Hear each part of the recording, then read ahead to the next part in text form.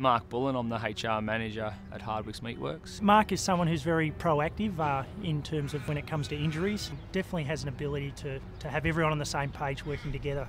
Getting injured workers back um, in a quick and timely fashion is very important. You know, through his initiatives, he's tried to work on ways to better present uh, different job tasks to, to, to the professionals, uh, like he did with, uh, you know, filming different tasks. So Identifying the injury um, that's taken place and getting the right treatment and early intervention is, is critical. Thinking outside the square, we've had injured, injured workers in the past um, where basically we've um, upskilled them, which will not only increase their knowledge of their meat game, but if they were additionally wanting to go to other meat processing facilities, that can help them with transferable skills into other areas.